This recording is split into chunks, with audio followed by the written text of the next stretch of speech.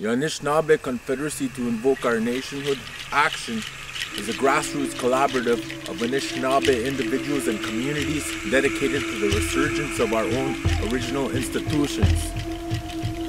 The Oshkimaadziig Unity Camp is a land reclamation of traditional Anishinaabe territory and a sacred site located in Ontario's Awenda Provincial Park, two hours north of Toronto.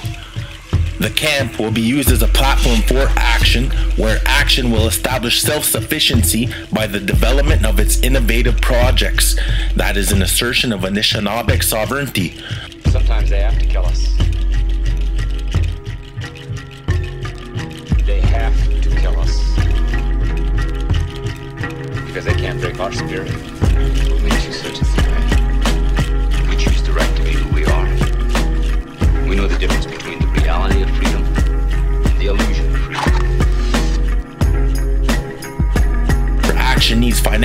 to obtain necessary tools for these initiatives.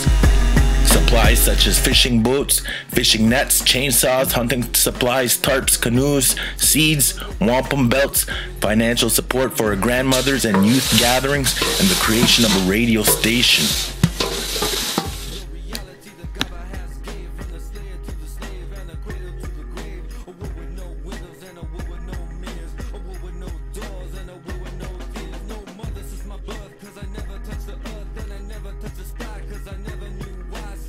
Welcome to the Canoe Way of Life. What you are seeing is our emancipation from all colonization way of life, and we are rebuilding our canoe way of life. I am referring to the two-row wampum, where the where it is a nation-to-nation agreement between the settlers and the indigenous people, and one is represented by the ship, and one is represented by the canoe. Our indigenous way of life has been hijacked by the settler ship, and we are now right on that settler ship.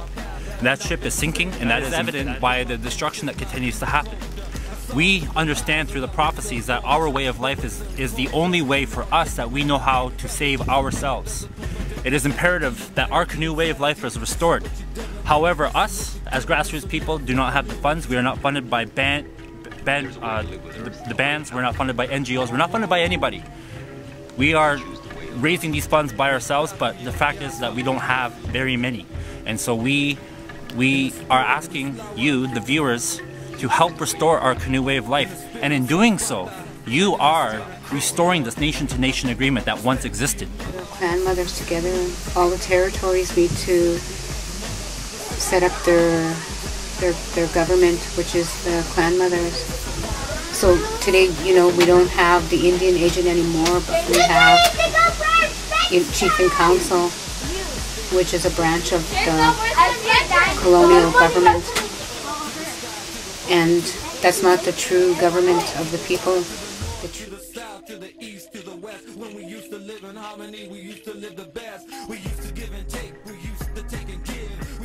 uh, no consultations. The um, ministry had not made it aware or, or talked to our First Nations about uh, what they were doing when they closed this land down.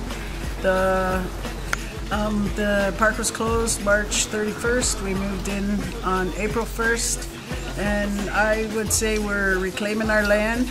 Um, we're also occupying so that we can reclaim the Organizer land. with the First Nation Solidarity Working Group of CUPE 3903, and we're here at Oshkimaadziig Unity Camp, um, helping our, our, our Anishinaabe comrades, you know, brothers and sisters, reclaim their ancestral lands. You know, as a trade unionist, I think it's incredibly important at this time when, you know, clearly workers are getting coming under attack on all fronts that we recognize that Native people uh, Indigenous people have been at the forefront of struggling against Canadian capitalism and imperialism and colonialism since time, since the beginning of colonialism, and that we have a lot to learn. We're learning a lot here.